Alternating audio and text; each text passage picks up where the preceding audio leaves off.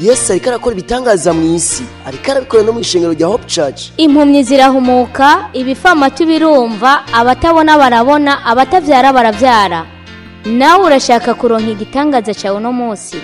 Kwirikirana ikiganiro ibyo yesu akora mushikirizwa n'ishengero rya hope church. Hope church ikorera mu caramagahahe wururutse bisi ku gicumi na rimwe ucuduga ku gicumi na kabiri hafi y'ikibuga ku ibarabara bita iry'amabeni abandi bakahita ku mbaho hafi y'uruzi gikoma.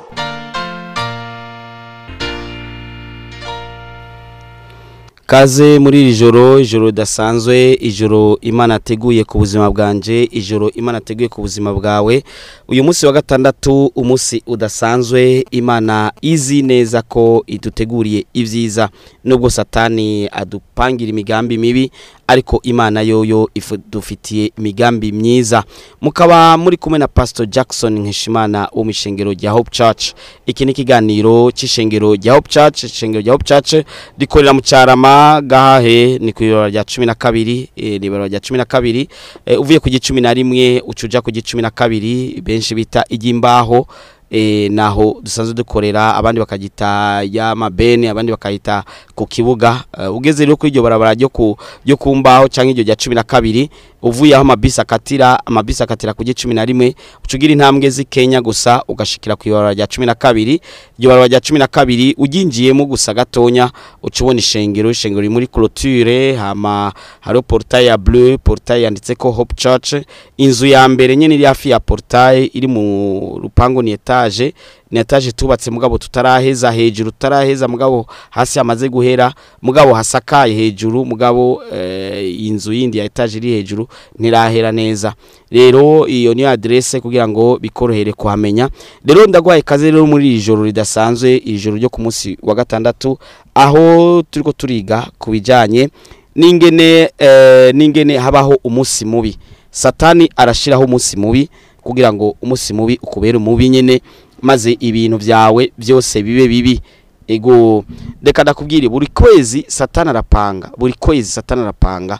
Ego nuku kwezi kwindwi satani yapanze nukundi kwezi kumbure k'umunani n'ayandi mezi satani abandanya apanga. Arapanga ati uku kwezi naka azahure n'ibyago sinzi ko biragushikira uwundi munsi uka, ukabona harabaye ikintu kibi. Ikintu kibi ntigipfa kuba uwo munsi nyene kiba carateguwe kiba carapanzwe satani aba yarateguye umunsi mubi ku buzima bwawe e, canke imisi mibi ku buzima bwawe. Hari igihe bitaba umunsi umwe bikaba nk'imisi ibiri canke itatu. Bikabaho. Satani agatega akiyumvira ati uyu muntu ndamugirira ikibi kibishe. Ego ntubifate nk'ibisanzwe ndiko ndakubwira ariko ndiko ndakubwira ibintu by'ubuzima kandi ubuzima bwawe. Reka nkubwire umuntu abantu bapfa bajya bapfa si uko baba barigeze gupfa. Hari umuntu yibaza ko atari mu oya. Ariko uwupfa buri kwezi harapfa abantu. Kandi nta kwezi gusiba gupfa kw'abantu. Kandi nta kwezi badahamba. Kandi nta kwezi muri morgue badashiraho abantu. Kandi bajya abantu bashiraho baba bari bazima imbere yuko bapfa. Ego. Harabicwa n'amaksida harabicwa n'ibina biriya. Nta ubizi ko muri satani yapanze ko nawe uza kuba muri bo. Eh uza kuba baza gupfa. Ariko turaza gusenga. Kugira ngo imana ikugirire neza. Imipango yose imigambi yose satana agufise ko ntihagire n'umugambi n'umwe uba ku buzima bwawe. Vuga uti amen. Ego cyane. Satana arategura sinzi ko murumva abantu bagize amadivorce bahukanye. Sinzi ko murumva abantu batavyara. Sinzi ko murumva abantu bafatwa n'umugera wa sida. Sinzi ko murumva abantu bafatwa n'indwara za diabete ikivyimbe mu nda. Sinzi ibiki byaduze byamanutse. Abantu ukazavuga ngo bafise ikivyimbe mu bwonko abandi ngo bafise kanseri n'ibindi. Ivyo byose ni ibintu satana aba yateguye. Murazi ko satana ari we mwansi w'ivyiza. Yama yipfuza ibibi ku bana b'Imana. Ego. Rero uwo munsi umuntu afatwa n'ikivyimbe cyo mu nda canke cyo mu mutwe canke byaguduze byamanutse uwo munsi satana aba yawuteguye. Ariko dusenze kuko ijambo ry'Imana riratubwira ko dufise ubasha bwo guhagarika imigambi yose ya satani dusenze uwo mugambi satana aba afise ku buzima bwawe n'ubu kibaye ego unyumvirize neza untahure neza turasenga. Yesu akakugirira neza. Ibyo satani yapanze ku buzima bwawe ntibize kuba. Ego. Rero ntiwisamare ko ntiwisamare ko ejo tuzaba dufite amasengesho. Ejo tuzaba dufite amasengesho yo gusengera umuntu wese. Umuntu wese ashaka ko bihinduka. Ntihagire ikibi kigira icyo kimugira. Eh ntihagire ikibi kigira icyo kimugira. Ejo tuzosenga tufise amiga atatu. Amiga ya mbere atangura isaha zibiri n'iminota cumi n'itanu. Amiga ya kabiri agatangura isaha zine n'iminota mirongo ine n'itanu. Amiga ya gatatu agatangura isaha cumi n'iminota mirongo itatu. Ndaguhaye kaze rero ku munsi w'ejo aho ku ishengero rya hope church. Ntihagoye nahavuze ntihagoye. Ni ibarabara rya cumi na kabiri. Ego ni ibarabara rya cumi na kabiri. Ndaguhaye kaze ntiwisamare ko ubuzima burazimvye ego ejo ejo isaha zibiri n'iminota cumi n'itanu. Canke isaha ziri iminota cumi n'itanu. Canke isaha uh, cumi n'iminota mirongo itatu. Ndaguhaye kaze uzoze tugusengere. Yesu agutabare yesu akugirire neza. Erega hari n'igihe byoba biriko birarondera umuryango wawe. Eh, sinzi ko murumva imiryango usanga batemanye baroganye bapfuye amatongo byaduze byamanutse. Ugasanga cyangwa ugasanga mu muryango hari umuntu agwaragurika cyangwa ugasanga ibyo byose satana bitegura eh E, none none ni we wenyene ni we wenyene atarazi kwicungera neza ku buryo yamagwaragurika none kubera ko umuryango wose ni we wenyine agwaye umutima ni we wenyine agwaye eh, diabete ni we wenyine agwaye ibivyimbe ni we wenyine atavyara ni we wenyine hari ibintu satana aba yateze avuga ati uyu naka ndamufatira aha muri uku kwezi mu kiringo iki n'iki n'iki rero eh, ku munsi w'ejo tuzogusengera tuzogusengera yesu akugirire neza akwiteho akubabare. Reka nakwereke reka dusomere ijambo rijanye n'ivy'iminsi mibi ko ibaho. Umusiguzi umusiguzi igice cya cumi na kabiri ku murongo wa mbere. Umusiguzi igice cya cumi na kabiri ku murongo wa mbere. Havuga ngo kandi wame wibuka umuremyi wawe mu minsi y'ubusore bwawe iminsi mibi itaraza. Eh kumbe iminsi mibi iraza. Irabaho. Eh reka tubandanye uwo murongo nyene. Havuga ngo igihe kitarashika aho uzovuga uti ntakikinezera mu minsi mibi nta munezero ugira urabyumva nawe. Habayeho umunsi mubi nta kintu na kimwe usanga kikunezera ko ibintu byose biba bibaye bibi ibintu byose biba byakubanye nabi cyane. Ego cyane. Rero uzoze ku munsi w'ejo tuze tugusengere. Reka ndakubwire. Hari ikintu ushobora kuba uri kurafata ko minenerwe wibaza ngo ngo ibyo biraba abandi. Ngo abapfa ngo nibajya nyine uwapfuye ntasubira gupfa. Hapfa uwundi mushasha. Eh amaksida sinzi ko birashika. Amamoto kava mu quartier ariko aragenda. Ari amamoto veni trade senkani mugabo moto wewe uriye ko akabariza kugira accident. Ugasanga wavuye aho uvuye satani yamaze gupanga ati biza kugenda uku biza kugenda kuriya biza gen- kugenda kujya ugasanga agakinga konyene karakugonze. Ugasanga ku ishure honyene barakwirukanye ugasanga ibyashara byawe barabyibye ugasanga muhira barakweskurutse ugasanga mu kazi bagufashe nabi ugasanga akazi biranse ugasanga hari ibintu biri- biriko biraba nawe wenyine ubwawe bikagusiga. Ukiyumvira ati mbega ibi byagenze gute? Kumbe ni iminsi mibi satani yateguye. Iminsi mibi satani yapanze kugira ngo ibe ku buzima bwawe. Abisirayeli byarababayeko. Eh, abayuda abayuda bari ba- ba- ba- bibereyeho neza ata nkomanzi. Ariko hamani abategurira umunsi mubi abifashijemo na satani. E, ni satani abibateza. Burya ujya akora ikibi siwe. Ni satani aba abimuteje. Kandi ntubone uwo muntu ahubwo ubone ikiri inyuma yiwe. Yesu ashime. Hamani arategura ko bategerezwa kugira umunsi mubi. Abisirayeli bategerezwa kugira umunsi mubi. Abayuda b'ico gihe bategerezwa kugira umunsi mubi.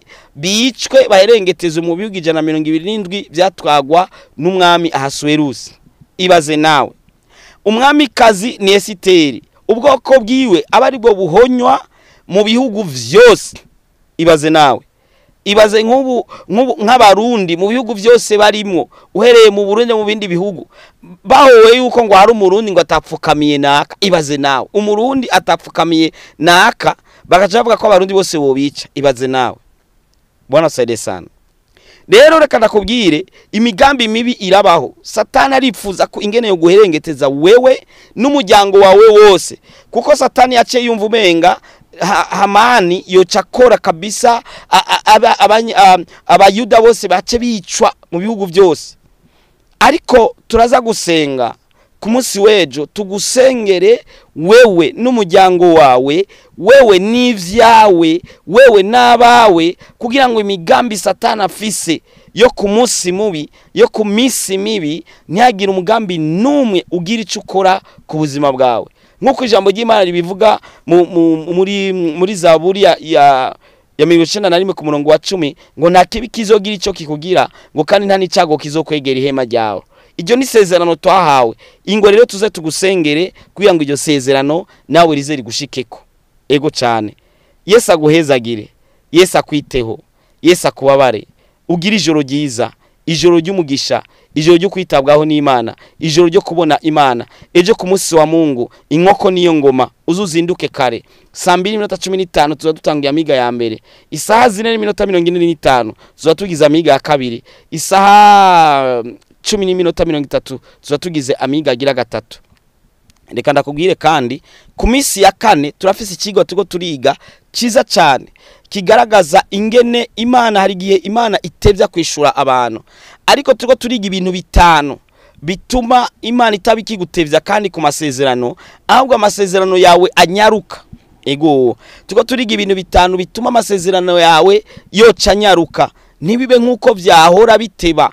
Eh, erega guteba ni bibi hari igihe uza kurongorwa. Nimba warasezeraniye umugabo ukaza kurongorwa kandi utakigira amenyo utaki utagishoboye kandi kuvyara waraciye.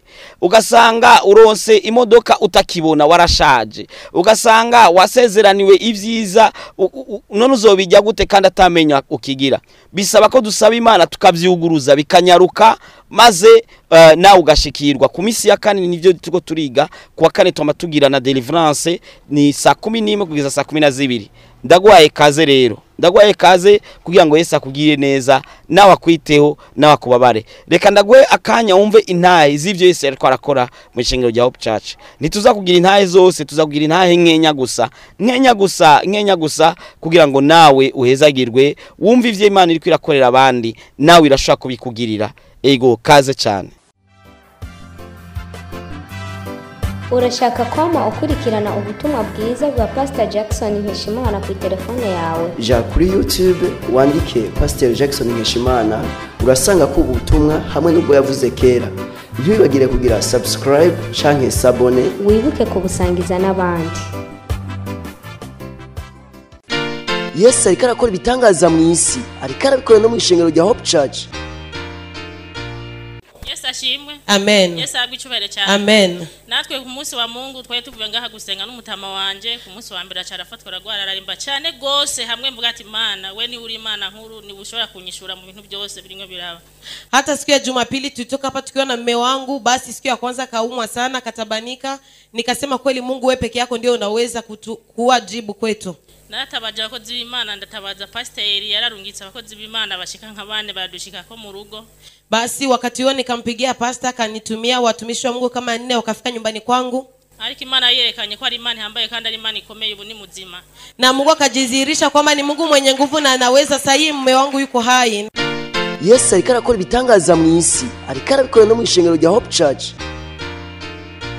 Yesu ashimwe. Amen ku munsi w'imana nari ndembye nari ngo yamanje. Siku ya jumapili nilikuwa tabani nilikuwa naumwa anjine hanyuma pasita arahamagara pasta kaita avuga ati yemwe ati abantu bose ati ndabona abantu bafise ibibazo mu muhogo. Akasema naona kuna watu ambao wana matatizo ndani ya shingo. Naciye nza baransengera basi wakati huo nikakuja wakaniombea. Bibaye mitende. Nikasikia afadhali. Mu gatondo k'uwa mbere. Asubuhi jumatatu nca numva noneho haca haza ikintu kica kirabyimba ngaha nyene kinini cyane. Nikahisi kuna kitu kikubwa ambacho kimekuja hapa na kuvimba. Ndavuga yo narasengewe narakize. Nikasema oo nimeombewa na nimepona. Kandi sinagiye kwa muganga n'umwe. Na sikuenda hospitalini popote. Umuhogo wose wari wabyimbye. Shingo yote ilikuwa imevimba. None yesu yarankijije sasa mungu ameniponya. Yesu ariko arakora ibitangaza mu isi. Ariko arabikora no mu ishengero rya hope church. Hama vandiredi heze uretse iyo mwiyondwi narabwiye umukozi w'imana ati ndafise ikibazo. Siku ya tano iliyoisha ya wiki nyingine niliambia mtumishi wa mungu kwamba nina tatizo. Yesu ariko arakora ibitangaza mu isi. Ariko arabikora no mu ishengero rya hope church. Ndabwira ati ni munsengere ndafise ikibazo iki n'iki? Ndipfuza ikintu gushika dimanshi. Nikasema ninahitaji fulani kuna kitu ambacho nahitaji kabla siku ya, ya jumapili ifike mugoroba wo kuwa gatandatu nawe nakirose amen. Jioni ya jumamosi nilikuwa nimepata tayari. Yesu abaheza amen. Yesu ariko arakora ibitangaza mu isi. Ariko arabikora no mu ishengero rya hope church. Yesu ashimwe amen. Yesu ashimwe kandi. Amen. Nanjye mpagaze hano nshima imana kuko jeti narabonye ikiganza cy'imana hata mi nasimama hapa nikishukuru mungu sababu alhamisi niliona mkono wa mungu. Narafashwa niteze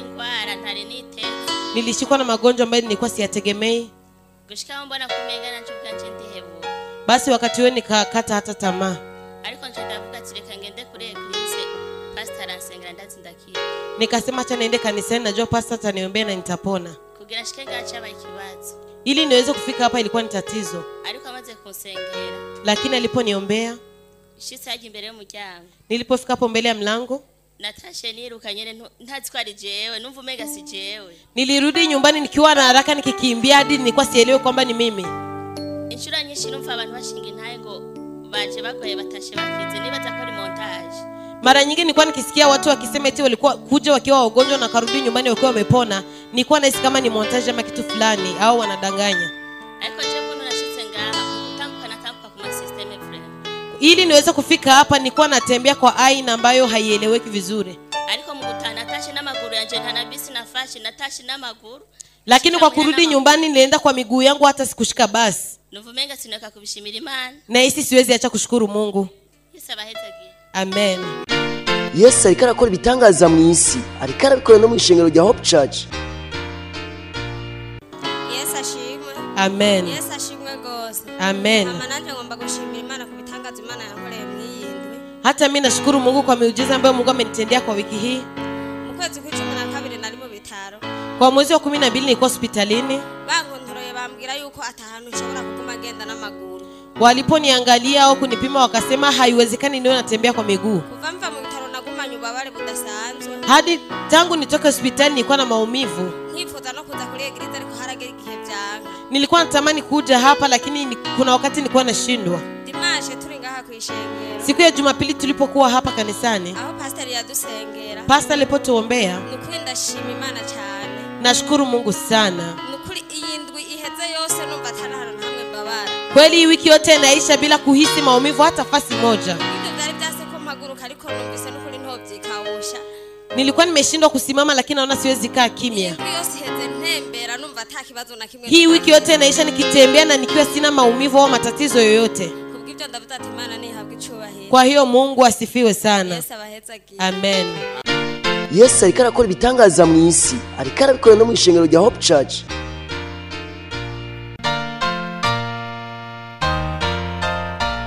Woba urusha woba uremerewe woba ufise ibibazo waburiye inyishu woba ugomba kwakira yesu kirisito nk'umwami n'umukiza w'ubugingo bwawe woba ugomba kuvugana n'umukozi w'imana pasiteri jackson nkeshimana. Uwo mwandikira ubutumwa bugufi kuri mirongo irindwi na gatandatu mirongo icyenda na gatandatu mirongo icyenda na gatandatu mirongo icyenda na gatandatu. Kugira ngo agusengere kandi agufashe mu buryo bw'impwemu yesu yavuze ngo nimuze kuri jewe mwese abananiwe n'abaremerewe ndabaruhura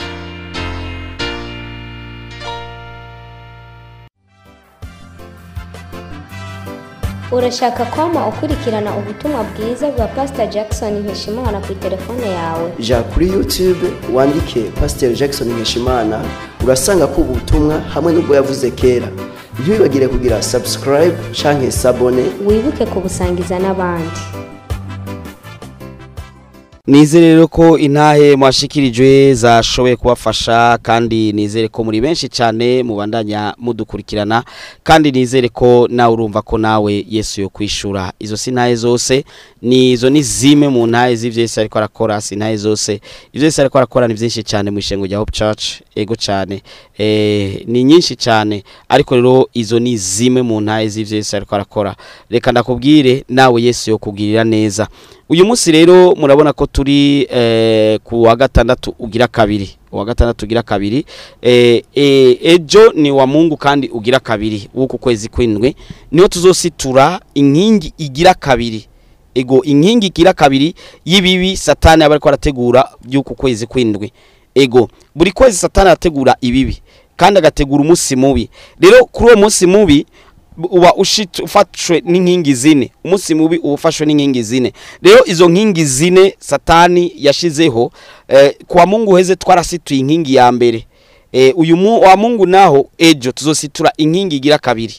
Ego ku munsi w'ejo tuzositura inkingi igira kabiri. Ndagutumiye rero kugira ngo ntuzobure kuba uh, mu, bazosengegwa uh, kubwo gusitura inkingi igira kabiri y- satani yashizeho yo kugira ngo atwononere ivyacu kugira ngo atwononere ivya uh, ivy'ubuzima bwacu canke n'imiryango yacu.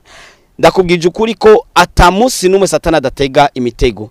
Ego satani arapanga agapanga ati buri, kwezi bize bigenda uku na kuriya.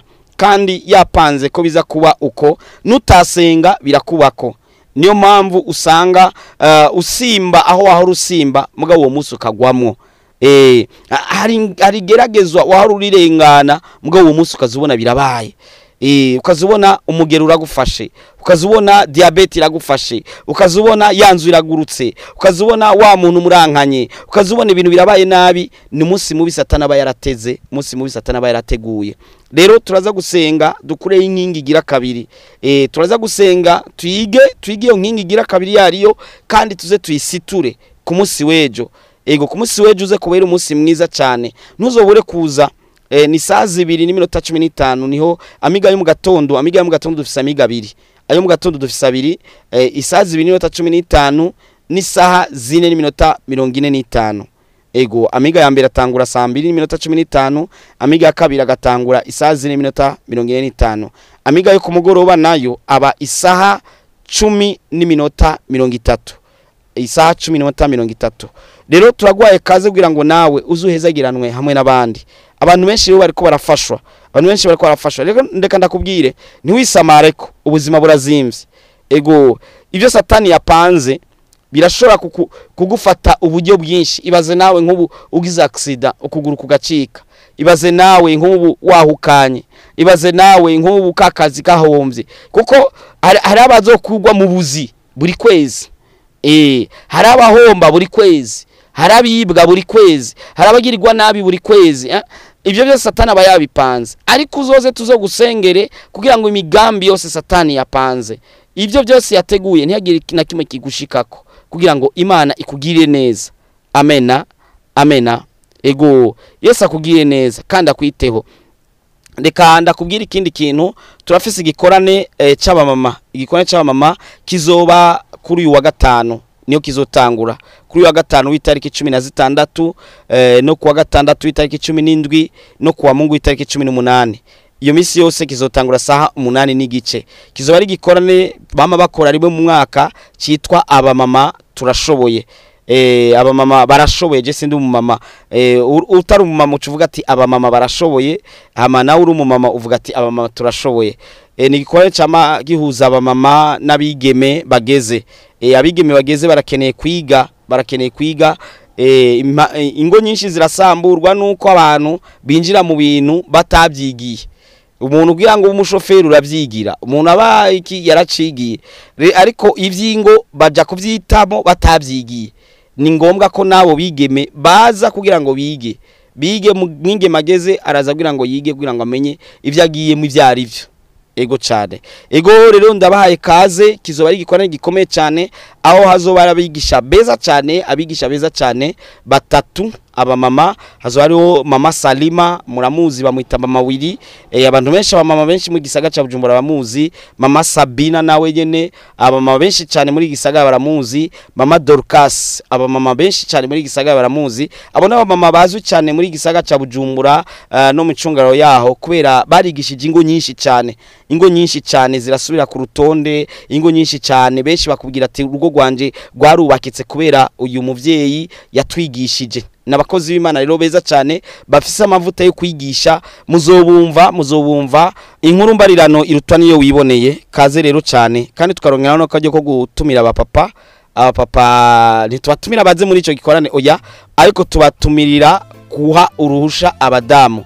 Eh tubatumirira guha uruhusha abadamu kugira ngo abadamu bazo eh, bazoze kwiga izo nyigisho. Kandi ni ku nyungu zabo eh, zabo badamu no ku nyungu z'urugo muri rusange. Ego cyane.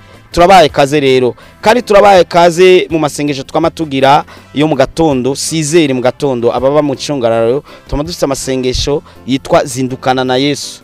N'amasengesho yitwa zindukana na Yesu. Aho abandi bazindukana igihuha abandi bazindukana ibindi twe tuzindukana na Yesu. Ego sizeri kugeza saa moya guhera kwa mbere gushika kwa gatanu tuba turangije ego cyane. Kwa kane naho muri uku kwezi kwa kwindwi kwa kane eh, muri uku kwezi kwindwi turiko turiga eh, turiko turiga eh, ibintu bitanu bituma amasengesho y'umuntu ateba kwishurwa. Eh, tukaca twiga rero kugira ngo ivyo bintu bitanu habeho kwishurwa rero. Kuwa kane twiga guhera saa kumi n'imwe kugeza saa kumi na zibiri kandi tukanasengera umuntu. Kugira ngo ivyo yasezeraniwe bishike n'ingoga. Ntibize bitebe. Imana yabimusezeraniye ariko ukazubona biriko birateba. Hari ibintu biza bitevye ugasanga nta nico bikugunguye ibaze wari ukeneye kurongorwa. None ugeze ku myaka mirongo ine n'itanu ni ho wishuwe. Ugiye kurongorwa n'imyaka mirongo ine n'itanu utakivyaye kumbure. Ugasanga rero nti- ntibiriko birakuryohera hari n'igihe wari wasabye imana kwizira guha indya nziza ziryoshe ukaza kuzironka amenyo yaravuyemo utaki- utagihekenya akanyama uzi ko kari mu ndya ziryoshe Eh, ugasanga hariho ibintu bitariko bigenda neza kubera byatevye uzoze rero ku minsi ya kane turiga kuzana amasengesho kuzana ah, mm, amasezerano twasezeraniwe tukayazana kanyaruka agashika mu gihe cyo mu gihe biba bikenewe mu gihe cyo ntaze atevye ego cyane yesu abahezagire cyane yesu abagire neza. Ejo rero ndabahaye kaze ejo ndabahaye kaze rero isaha isaha ni yayindi nyene isaha zibiri ni- n'iminota cumi n'itanu ku miga ya mbere isaha zine n'iminota mirongo ine n'itanu ku miga agira kabiri amiga ya premidi na yo ni saa kumi n'igice. Ndakubwire urashaka kujuragirika adresse nayiguhaye ni ku ibarabara rya cumi na kabiri. Uvuye ku cumi na rimwe ni ibarabara amabisi akatira ko ava muri ville. Uca uja ku ibarabara rikurikira irya cumi na kabiri irya cumi na kabiri bagita iryo ku mbaho kuko bahadandariza imbaho. Iryo nyene njye uca udugana gatonya gatonya gusa uca ubona urusengero ruri muri clôture na portail ya bleu. N'inzu ihari ya etage mugabo itarahera aho ni ho dusanzwe dukorera. Kaze cyane rero ku munsi w'ejo eh, ntusamare ntiwisamare ko ubuzima burazimbye. Yesu aguhezagire. Ndakwifurije kugira ijoro ryiza urota imana n'abamarayika ku munsi w'ejo uzoramuka amahoro yesu aguhezagire. Mwari kumwe na pastor jackson nkeshimana wo mu ishengero rya hope church.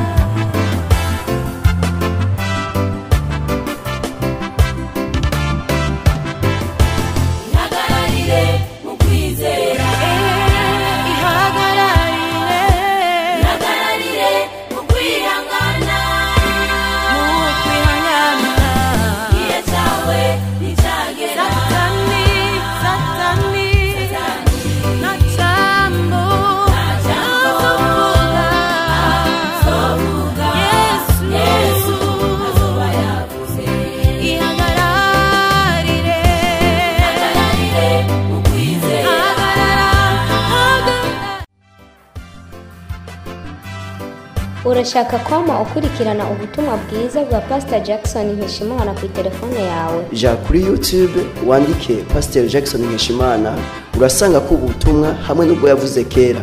Ntiwibagire kugira subscribe canke sabone. Wibuke kubusangiza n'abandi.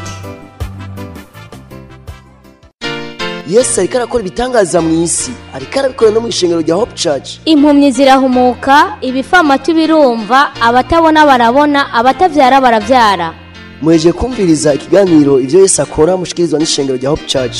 Hope church ikorera mu caramagahahe wururutse bisi ku gicumi na rimwe ucuduga ku gicumi na kabiri hafi y'ikibuga ku ibarabara bita iry'amabeni abandi bakahita ku mbaho hafi y'uruzi gikoma. Woba urusha woba uremerewe woba ufise ibibazo waburiye inyishu woba ugomba kwakira yesu kirisito nk'umwami n'umukiza w'ubugingo bwawe. Woba ugomba kuvugana n'umukozi w'imana pasiteri jackson nkeshimana. Uwo mwandikira ubutumwa bugufi kuri mirongo irindwi na gatandatu mirongo icyenda na gatandatu mirongo icyenda na gatandatu mirongo icyenda na gatandatu. Kugira ngo agusengere kandi agufashe mu buryo bw'impwemu yesu yavuze ngo nimuze kuri jewe mwese abananiwe n'abaremerewe ndabaruhura